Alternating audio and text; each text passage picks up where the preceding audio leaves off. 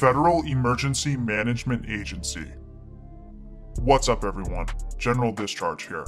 Today's video is going to be discussing the United States Federal Emergency Management Agency, or FEMA for short. FEMA is an agency of the United States Department of Homeland Security, and is tasked with coordinating responses to disasters that occur in the US that overwhelm the resources of local and state authorities. Pretty much any giant disaster you can think of was dealt with by FEMA, Hurricane Katrina, California wildfires, the COVID 19 pandemic, FEMA is the expert of emergency management. If you want to know more about FEMA, what it does, what it's capable of doing, its makeup, training, requirements, and much more, sit back, relax, and enjoy the video.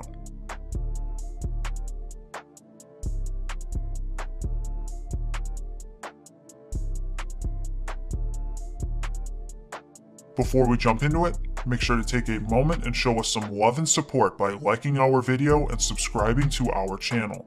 Your support is our lifeblood. Do not hesitate to ask us questions in the comment section below. We check everything. FEMA was created by President Carter in 1978. It was its own agency until 2003, where it was absorbed into the DHS.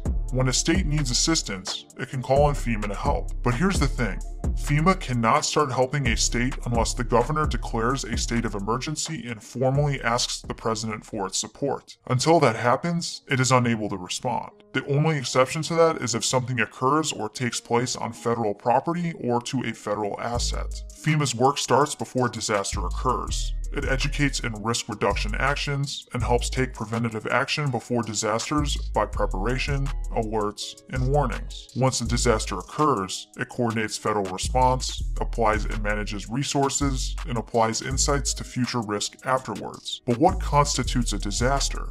A disaster is defined as an adverse condition or occurrence that requires coordinated action across multiple entities to resolve. Disasters include all types of emergencies and hazards, from severe storms, power outages, earthquakes, wildfires, winter storms, and much more. FEMA is prepared for all of these. Using its core values, which are compassion, fairness, integrity, and respect, FEMA gets the job done and saves lives.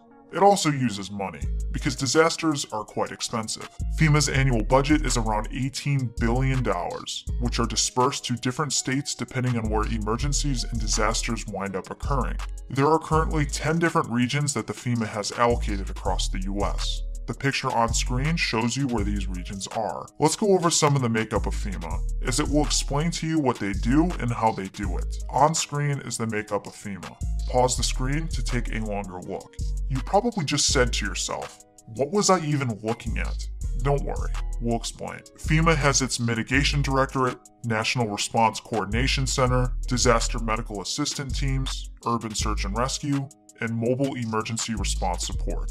Let's briefly go over these. The Mitigation Directorate is responsible for programs that take action before a disaster in order to identify risks and reduce injuries, loss of property, and recovery time onto the NRCC. The NRCC is a multi-agency center located at FEMA's headquarters that coordinates the overall federal support for major disasters and emergencies, including catastrophic incidents and support of operations at the regional level. It specifically provides emergency management coordination, planning, resource deployment, and collects and disseminates incident information as it builds and maintains situational awareness at the national level. Now onto the disaster medical assistance teams. DMATs are part of the National Disaster Medical System. There are 55 of them spread throughout the country.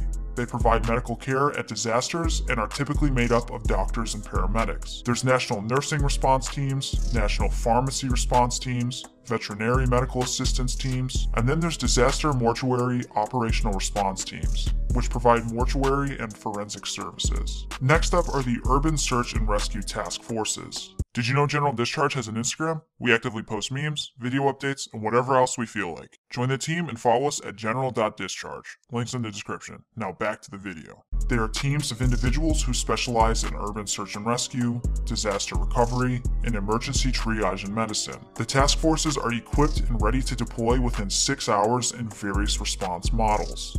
The amount of things these teams can do is astonishing.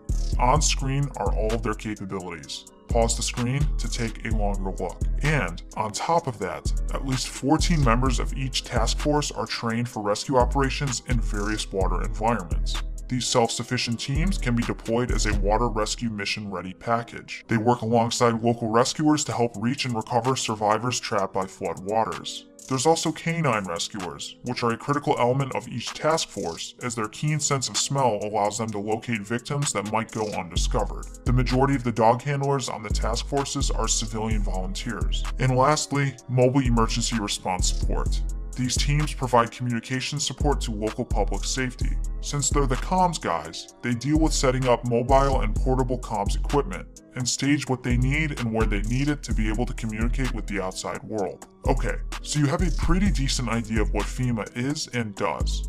What's the training like to get into it? What about the requirements? The training for FEMA is a little unconventional for agency standards. While there are academies, they're not academies like the FBI or DEA Academy. FEMA offers a large number of training classes, either at its own centers, through programs at the state level, in cooperation with colleges and universities, or online. If you go on their website, they have the National Emergency Basic Academy, Advanced Academy, and Executive Academy. Each of these academies have different prerequisites and teach different courses at varying levels of depth. You'll learn about all aspects of emergency management and response, and depending on what level you're at, the scope will grow. As far as requirements go, it depends on what you want to do. FEMA has permanent full-time, on-call reservists, and a cadre of on-call response recovery, also referred to as CORE. There's a whole slew of requirements depending on that, so we won't bore you with the intricacies. We'll leave a link to the careers portion of their website in the description below. And there you go, you now have a decent idea of what FEMA is and does. We hope you got something out of this video. If you're into learning more about other civilian and law enforcement entities, we've done plenty of videos on them. On screen are all the videos we've done thus far. There will be a playlist in the description for them. Well, that is the down and dirty of the United States Federal Emergency Management Agency. If you learned something from this video, make sure to give us a like and subscribe to our channel. As always, thank you for watching. Do you even want to be here? A big shout out to all of our YouTube members and our patrons over at our Patreon. Thank you all so much for taking the extra step in supporting our channel. It is much appreciated. If you'd like to be featured on a general discharge video, consider joining our membership with the link in the description or the join button to the left of the subscribe button, or go give our Patreon a look and join the team. Here's Nick Nausea. All your friends are subscribing to General Discharge, and you don't even want to be here.